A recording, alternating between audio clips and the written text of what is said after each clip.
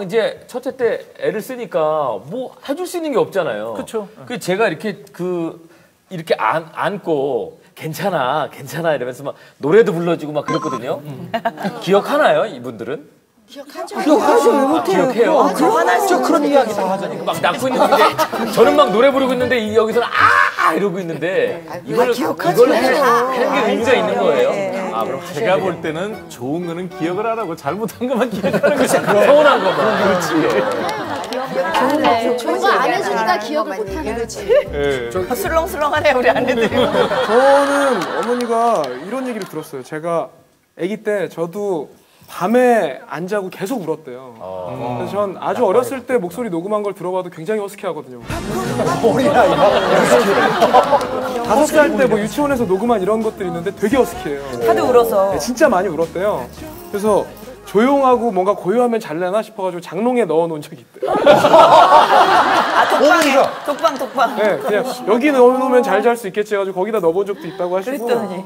그리고 초등학교 때는 제가 좀 약간 살집이 있었거든요. 그러니까 좀 약간 뚱뚱한 편이었어요. 제가 좀 비만이 많이 될까봐. 근데 어렸을 외아들이에요? 때는 네 외아들이에요. 근데 보통 외아들이면은 다 오냐오냐한 것 같고 자기가 먹고 싶다는 거 다 먹일 것 같고 그러잖아요. 네. 저희 어머니 절대 그런 게 없으셨고 그때 부모님 아버지랑 어머니가 주말 부부셨는데 아버지가 지방에서 서울로 오셔야만 고기 반찬을 먹을 수가 있는 거예요. 아 빠 위주구나. 그러니까 어머니는 약간 채식을 좋아하셔가지고 뭐 아버지가 따로 오시지 않을 때는 저는 야채만 먹어야 돼요. 그래서 제가 살이 찔까봐 안 먹이기 시작했어요. 네, 그래서 어느 날 아버지가 오셔서 고기 반찬이 딱 나온 거예요.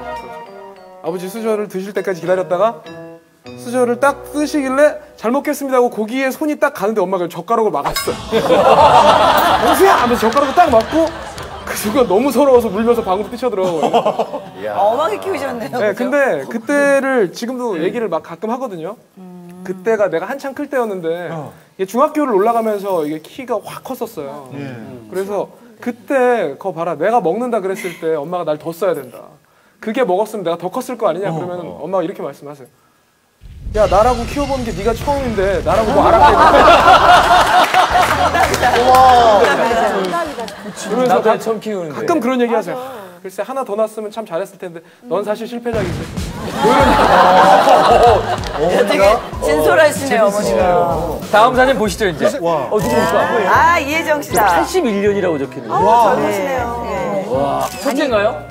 아, 저희 아, 네, 큰 아이 때 저희 저분은 아버지가 누구세요? 외할아버지가 엎고 계시네요. 할아버지. 네. 죽고 나서 아마 얼마 안 됐을 것 같아요. 네. 저희 때는 신생아실에서 애를 낳아서 뭐 탯줄을 아빠가 자르고 사진을 찍고 이런 게 아예 그런 게 없었어요. 근데 뭐 저 남편이 산부인과 의사시니까. 어, 내 대장간에 칼이 없다 녹슨다고요. 네. 정말 저는 애 낳는 날 얘기를 하면 저 남자하고 아예 안 살아야 되죠.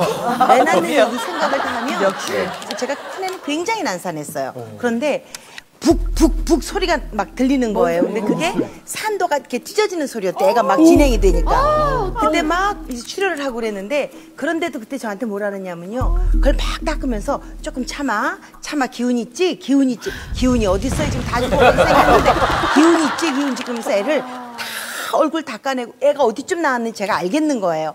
다 얼굴 닦고 석션하고 이러면서 애 입을 다 빼내고 정말 그렇게 냉혈동물처럼 차분할 수가 없는 거예요. 근데 너무 서운하더라고요. 그나마 둘째 때는 군의관 그때 훈련 가고 없었으니까 전방에 가서. 전방에 그때 막 배치 받아 갈 때였으니까 아이가 없었죠. 보름 만에 딸아이의 순산을 축하하오. 문자 전부 하나 오고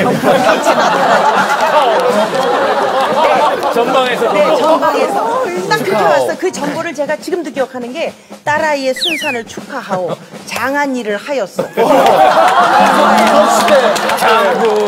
아니 맞잖아. 네. 아니 그온 생각해야지. 거예요 군대에서. 그것도 애 낳고 보름이나 있다가 그러더니 한 달이나 돼서 희적거리고 왔더라고요. 그러더니 우리 큰 아이 중구를 가졌을 때 제가 한 5, 6개월까지 계속 하혈을 하는 거예요. 근데 그냥 하혈 정도가 아니고 좀 걱정이 될 만큼 이렇게 피가 비치는 거예요. 그래서 제가 여보 이렇게 하혈을 해. 근데 레지던트 3년 차 때예요.